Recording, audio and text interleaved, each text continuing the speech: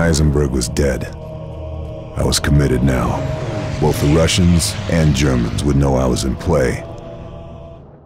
Four to go.